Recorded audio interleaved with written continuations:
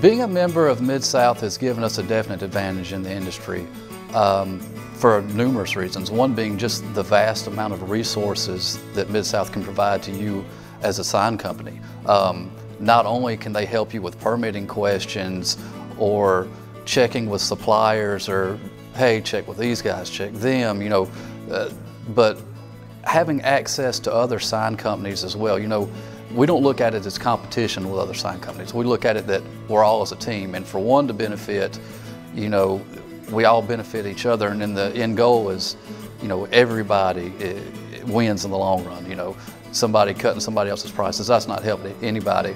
Um, so I would just say just the vast amount of resources that Mid-South can provide along with the other sign companies, you know, has, has been extremely helpful.